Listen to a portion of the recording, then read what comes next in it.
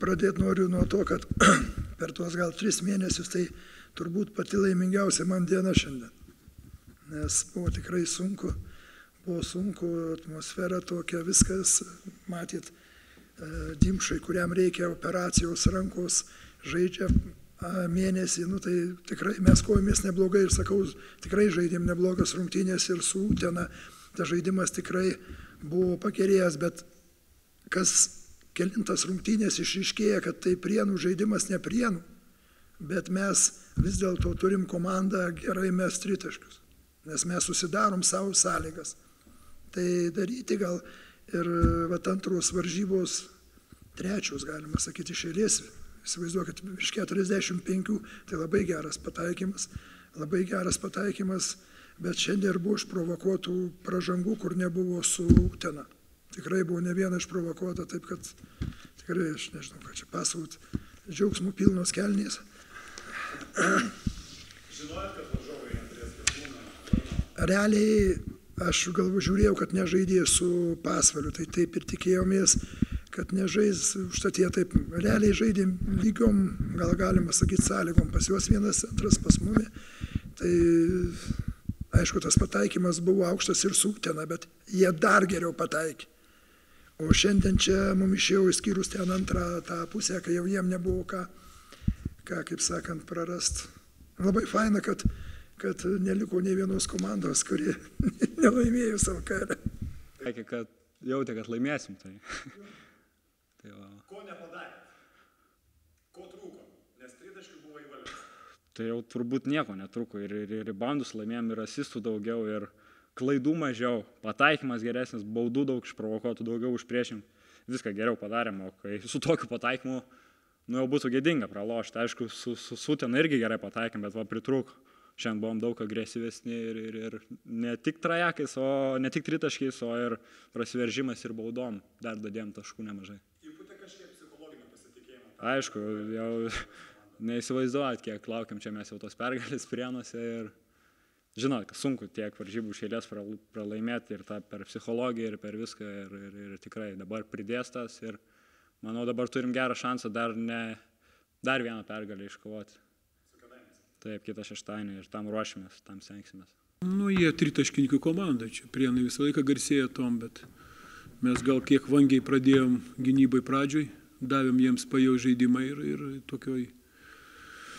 Ir, ir paskui labai psichologiškai buvo sunku, nes kiekvieną pagalbą kažkokią padarom, susispaudžiam ir, ir gaunam tolimus metimus. Aš negaliu pasakyti, kad ten mes e, tragiškai labai gynėmės e, praėjimus, mes daugiau juos stengiamės uždaryti, uždvėjinti e, vidurio polėje bet, bet labai atsidarydavom tolimus metimus ir juos gavom. Tai kad Vytautas tuom pasinaudojo ir, ir, ir teko pripažinti jų pranašumą. Kaip keitėsi žaidimo planas, kai Lekūnas Lapas iškrito? Didžiausia bėda tai buvo tai, kad mes neturėjom jau tokių, žinot, pilnaverčių treniruočių. Tai ne, ne vien jis čia ir Julius negalėjo treniruotis, tik tai atėjo į varžybas jau su, su šitais, su Hazakais nes, nes šitą e, buvo irgi šonkulių susi, susimušę stipriai, lėkūnas iškrito, varno nėra. Žinot, kai ateina aštuoni ten treniruoti, daug nieko ne, grupiniais tik veiksmais gali.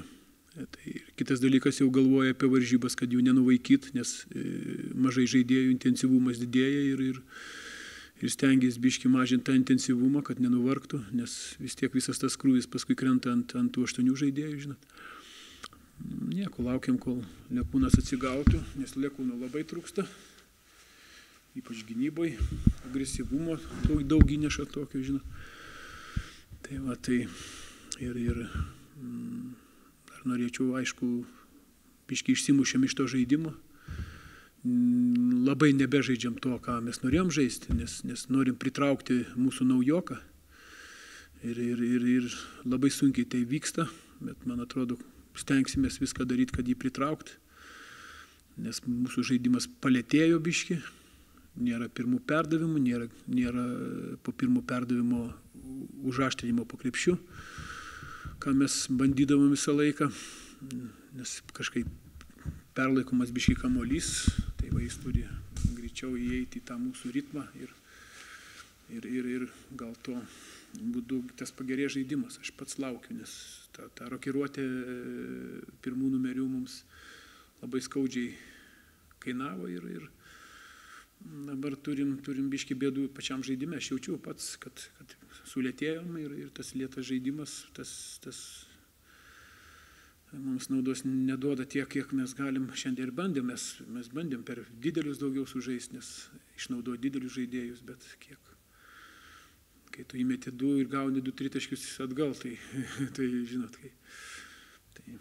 А, Хотелось бы лучше выиграть, чем быть самым лучшим в команде. Я считаю, что мы провели свою худшую игру в сезоне. Вот, э, Витаутас показал сегодня лучший, по-моему, процент за все игры, которые они играли. Они быстро начали, мы э, пропускали легкие очки, не бежали, проиграли, если я не ошибаюсь, подбор. Вот, я считаю, что это одна из э, ключевых моментов в игре, плюс они хорошо бросали трехочковые сегодня. Э, Мы старались играть э, вроде бы и под кольцо, и с периметра, но как-то играли кучно и иногда сбивались на индивидуальные действия. Я считаю, что мы должны играть более командно. Вот. Неважно, кто будет забивать очки, главное, чтобы команда побеждала. И неважно, выиграем мы очко, 2, 10, главное, чтобы мы играли как одно целое. Э, Будем работать над ошибками, будем исправляться, будем работать над защитой дальше. Вот. Я думаю, все будет дальше лучше и лучше, потому что сезон длинный и есть время поработать.